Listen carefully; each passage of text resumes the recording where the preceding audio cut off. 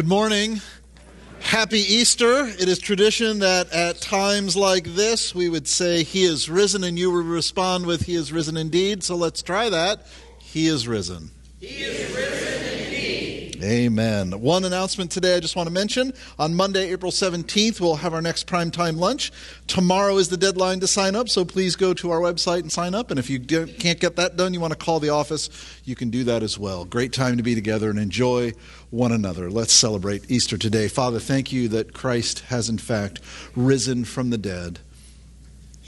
Thank you that he has gotten victory over death and sin and provided for us a way of new life, new life on this earth and new life for eternity with you. Help us today to celebrate. In Jesus' name, amen.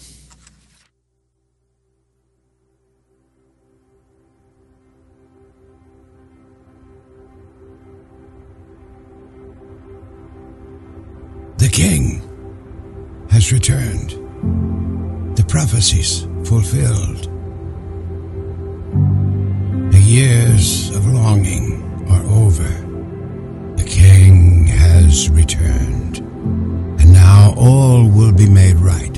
Amidst shouts of praise and tears of joy, the pleading for justice, the cries for our enemies' defeat. The King has returned. The King who was driven from his land as an infant, who spent his first years as a refugee, who understands pain and suffering. But this king is not who we were looking for. This king brings justice, not over our enemies, but in the midst of our enemies. He brings peace, not in our land, but in our souls. He is the answer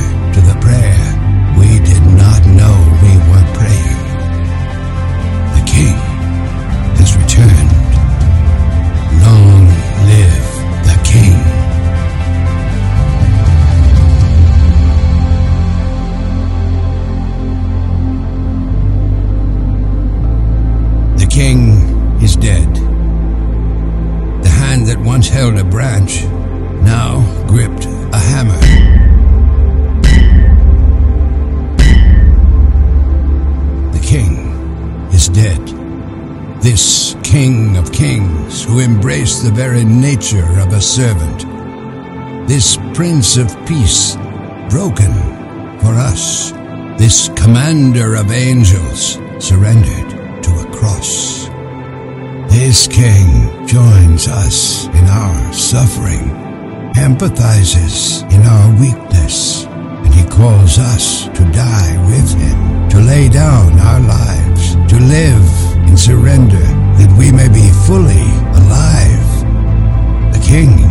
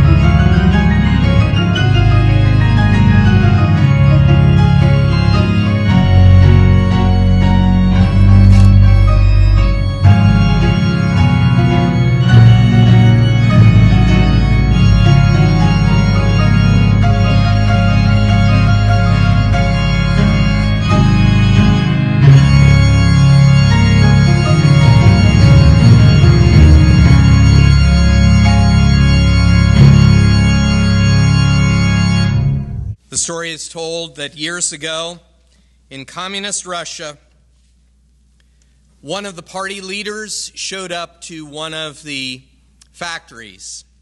All of the men of the factory were brought into a room. They were sat down on chairs, and for the next hour, the Communist Party official stood at a podium, regaled each and every one of the men with stories of how communism was going to be victorious, how God was dead, and how the people were now in charge.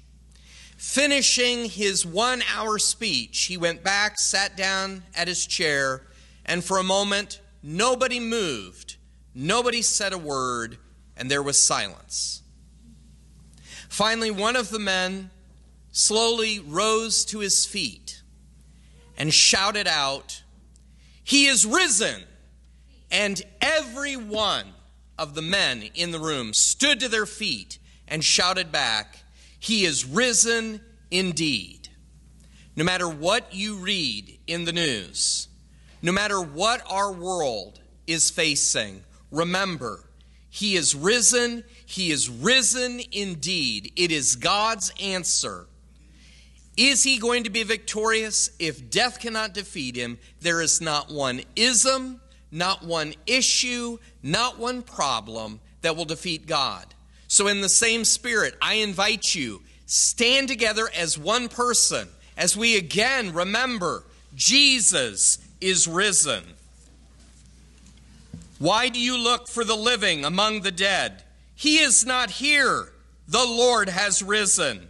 He has risen indeed. The Lord has risen. He has risen indeed. The Lord has risen. Take your hymn books, turn to number 367, and with that kind of energy, let us sing together to the Lord.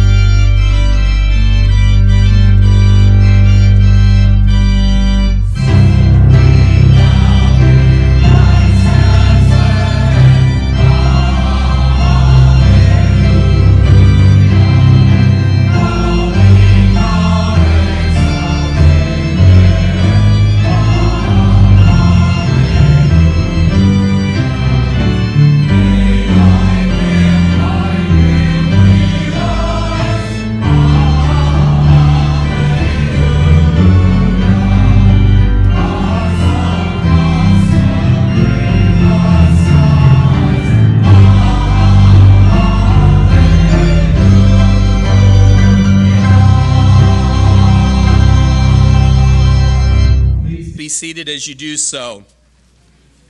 Would invite you to take your copy of God's Word, turn to Matthew chapter 26. Matthew chapter 26 in a Pew Bible, it's page 1545. We want to take a look at Matthew chapter 26, verses 57 through 68. This is Jesus before the Sanhedrin. You may, may remember a group of 70 individuals charged essentially as the high court of Israel at this time. Jesus is there to be tried by the leaders of his, um, of his people, of his nation. Beginning in verse 57, this is what Matthew records for us. Those who had arrested Jesus took him to Caiaphas, the high priest, where the teachers of the law and the elders had assembled. But Peter followed him at a distance right up to the courtyard of the high priest. He entered and sat down with the guards to see the outcome. The chief priests and the whole Sanhedrin were looking for false evidence against Jesus so that they could put him to death. But they did not find any though many false witnesses came forward. Finally, two came forward and declared, This fellow said, I am able to destroy the temple of God and rebuild it in three days. Then the high priest stood up and said to Jesus, Are you not going to answer? What is this testimony that these men are bringing against you? But Jesus remained silent. The high priest said to him, I charge you under oath by the living God, tell us if you are the Messiah, the Son of God. You have said so, Jesus replied. But I say to all of you, from now on you will see the Son of Man sitting at the right hand of the Mighty One and coming on the clouds of heaven. Then the high priest tore his robes and said, He has spoken blasphemy. Why do we need any more witnesses? Look, now you have heard the blasphemy. What do you think? He is worthy of death, they answered. Then they spit in his face and struck him with their fists. Others slapped him and said, Prophesy to us, Messiah. Who hit you? If you would join me for prayer. Father, as we read through these scriptures, we are reminded that earthly courts often get things wrong. Here in the text, we read where the Sanhedrin spit on Jesus, they physically assaulted him, something they were not even permitted to do. It reminds us justice is not found in human courts, it can only be found through Jesus. Father, our prayer is that we would be about justice, that we would speak on behalf of Jesus, that we would be after truth. Father, allow us to be peacemakers in the midst of a world that increasingly seems to want to be at odds. We want to pray, Father, that we would respond with patience and grace and kindness as Jesus did, not lashing out, not speaking ill. Father, He is our example for how to live in a world where there is injustice. We want to pray, Father, that we would take Jesus' confession to the world for it is only when we see Jesus for who he really is that we can be about his business. Let us see Jesus again this morning. There is so much brokenness. Father, there is still death in the world for those who are struggling as they face uh, those that they love. Perhaps at the very end of their lives, we ask, Father, that you would pour out grace and support for them. We still live in a world where there is suffering. Father, allow us to be your hands and feet to, bro- to bind up the broken uh, parts of people to comfort them in the midst of their suffering. We thank you, Father, for Jesus, for his resurrection, for it shows us we have that same resurrection power living in us. No matter what we're facing, we have the strength to honor and please you in all of it, even when it's tough. Help us to live in that way, Father. Use us as Jesus' incarnate hands and feet this week. In the name of Jesus, we pray. Amen.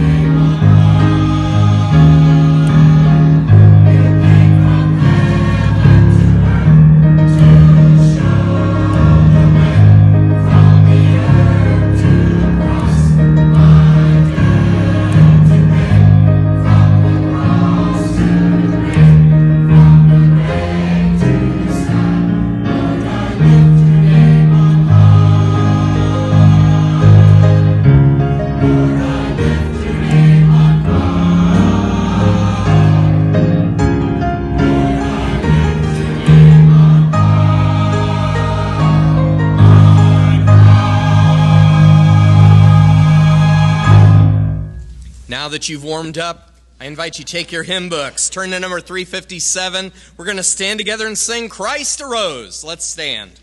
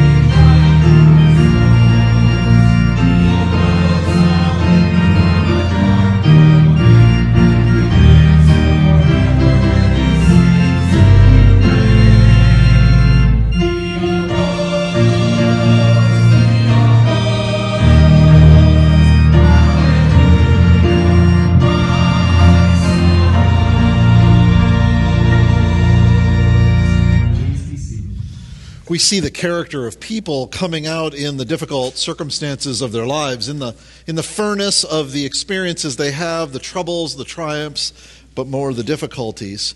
We see folks' character shine. I've been reading a book about, uh, it's the memoirs of Sojourner Truth. She was an 1800 slave woman in the United States. And it's interesting, the writer included a little detail that stuck out to me. It was a practice that she had around the virtue of honesty. She was so concerned with being honest with her, uh, the family that she was uh, owned by, that she, even when her child would be expressing hunger, she would never steal bread from the family. Even though she could get away with it, even though no one would have probably seen her, she never did that because she believed that even though she was living in slavery, she was accountable to God and wanted to live for Him. Jesus lived with a great, immense amount of humility in his life on earth. He was in deep difficulties and troubles as he entered the city of Jerusalem. Now, I know it's Easter. We've already sung that Christ arose. We've already said he is risen, and you have said in return, he is risen indeed. And so we want to get to Easter. The problem I find is each time around this time of year, I think, but what about all the other? We talked together on Thursday night about the night before Jesus was arrested, and then we gather for the next time on Easter Sunday morning. But in that last week of Jesus' life, so much happens. And there's so much concentration on it when we read the Gospels, we don't want to overlook. And in the midst of giving uh, sort of a survey of that last week, I want us to think about it in terms of what Jesus did not do. The first is this Jesus did not respond to the insults. Jesus demonstrated humility in not responding to the insults and some of the accusations of the people around him.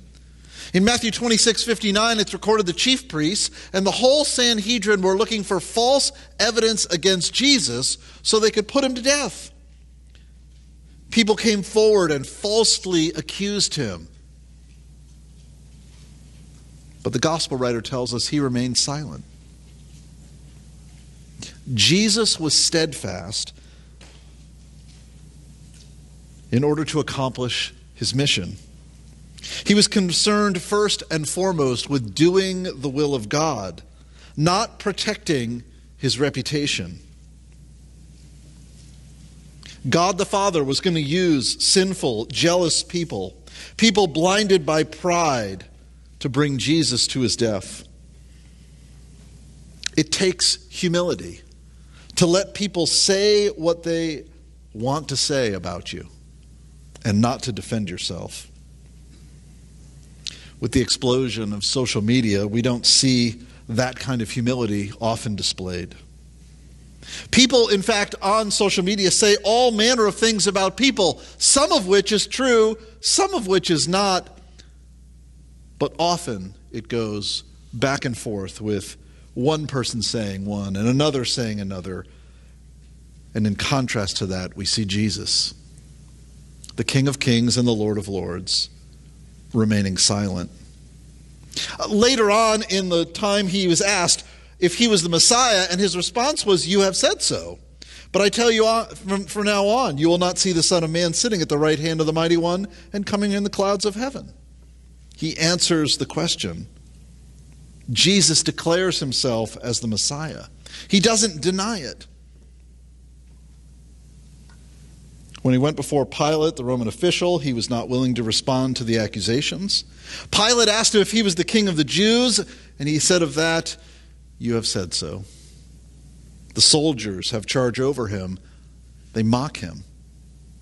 They mock him with their words. They insult him, but he does not respond. In chapter 27, three groups hurl insults at Jesus, and he does not respond to them. People passing by, various Jewish religious leaders, and the other rebels who were crucified with him all hurl insults at him, and Jesus stays steadfast and does not respond. Jesus also did not fight back. Uh, last week in the call to worship, we read about uh, Jesus, and he is the creator of everything. Could not the creator of everything manage to save himself from brutal treatment?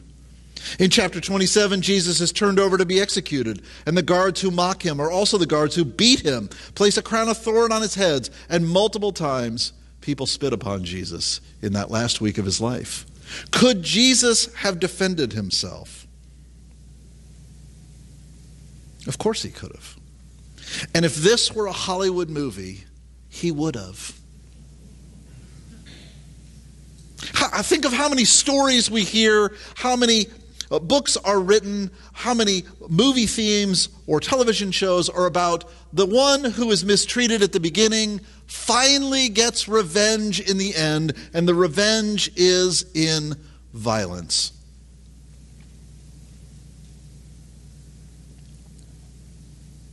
Jesus created everything. Jesus was not lacking power or ability, but he was exhibiting humility. He did not respond. Jesus spoke one time, and a storm was calmed by his words. Jesus made the lame walk, the blind to see.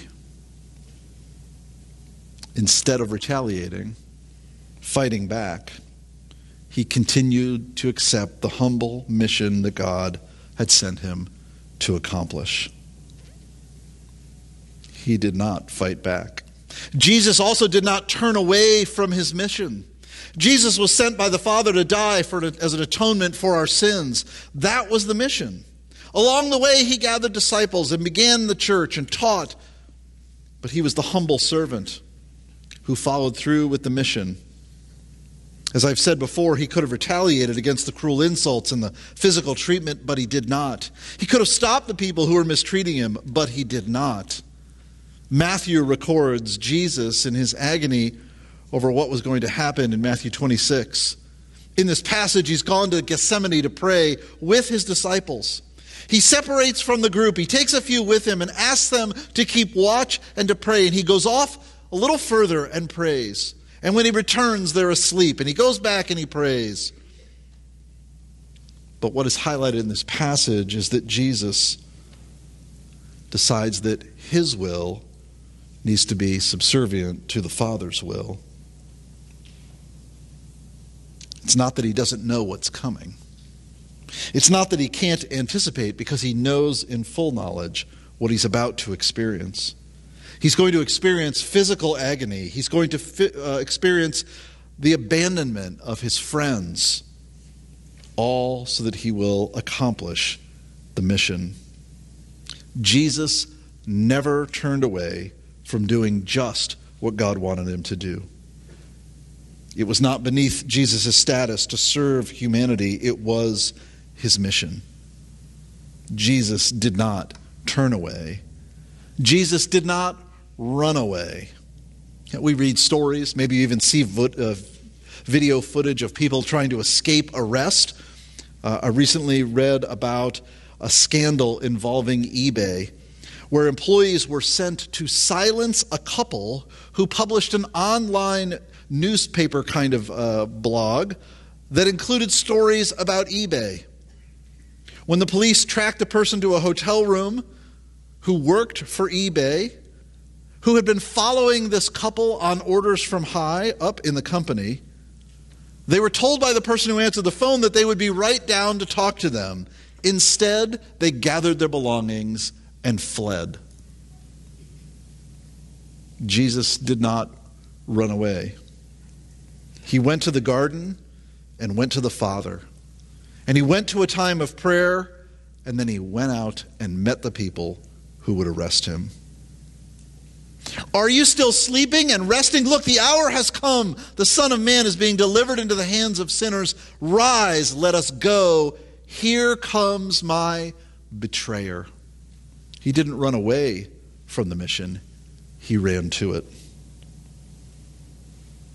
There's one other thing that Jesus didn't do, and that is that Jesus, in this section, in this last week of his life, Jesus did not refuse the honor people wanted to give him. When we speak of humility, we might think of people who are unwilling to receive praise, but Jesus was not. Jesus was not weak and unassuming. Jesus was understanding of who he was and what was appropriate. He submitted his will to the will of the Father, and he lived for him. And in the midst of that, he accepted the honor that people gave him. A few examples are in the, the book of Matthew. While in Bethany, a woman came and poured a very expensive perfume on his head. The disciples were upset with the extravagant act of worship, but Jesus was not. Jesus saw it as appropriate. Humility is knowing who we are, and Jesus knew exactly who he was. He didn't tell her to stop because it was appropriate. In the final chapter of Matthew, after the resurrection, the disciples gather, and the scriptures tell us they worshiped him.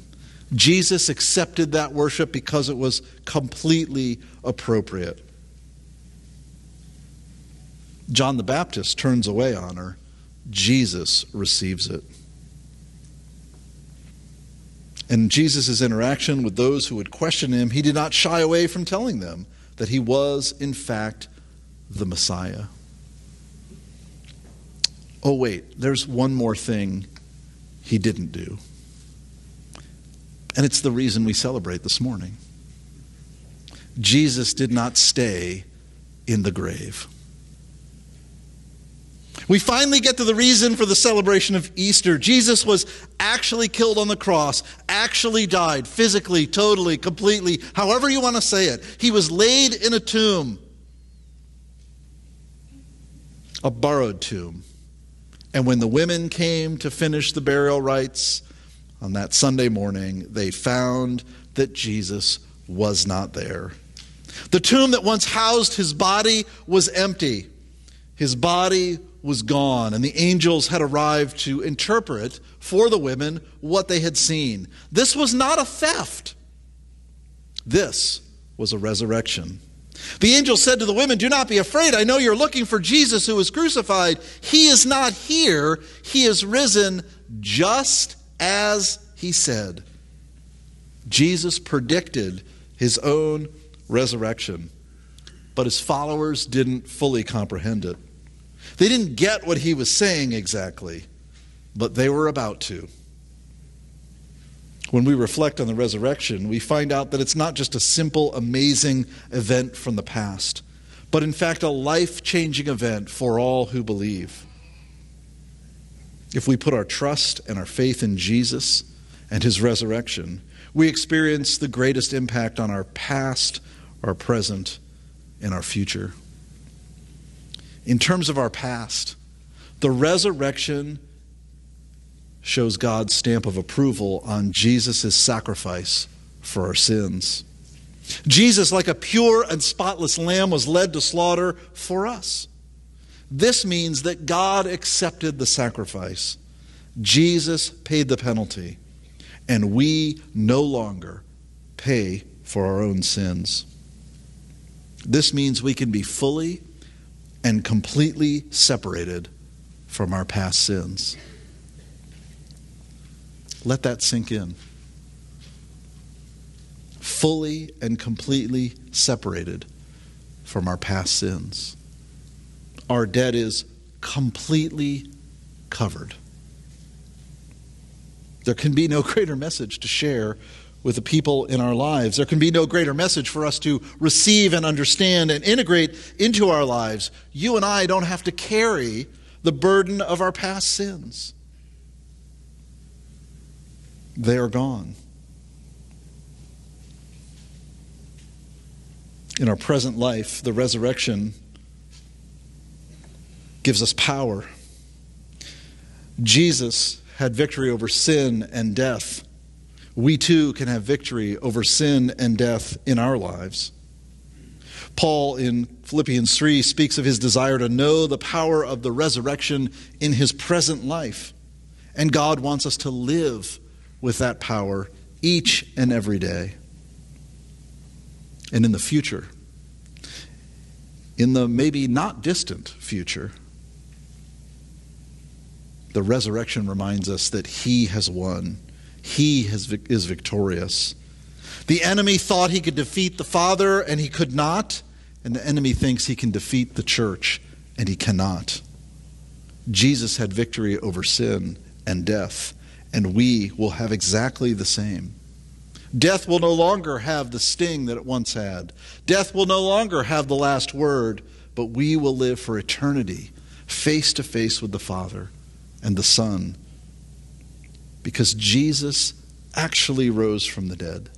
He did not stay in the grave. Hallelujah. Father, thank you. Through all eternity past, you orchestrated a plan in time to rescue us from our sins, to restore our lives, and to draw us into relationship with you. We celebrate Easter today because of all the things Jesus didn't do and particularly because he did not stay in the tomb. He rose and he lives. And because he did, we do and we will also. Amen. If you look to the front of the sanctuary, you will notice that there is a tree that has some crosses on it. I wanted to share with you that in sunrise service, what we invited folks to do was to come forward to put the name of someone that they wanted to share the message of Easter with on one of those crosses and then to hang it on the tree. It's meant to picture the tree that Jesus was hung on. Hung on with your name on him because he died for you. But then, if you notice on the platform here, there is what we attempted to make look like a stone bench. On the bench, you'll notice that there are some strips of cloth that have been wrapped around, and it's meant to picture the grave clothes that were in Jesus' tomb, resurrection morning. The reality is, when the disciples, when the women showed up at that tomb, what they saw were those grave clothes still wrapped but without a body inside.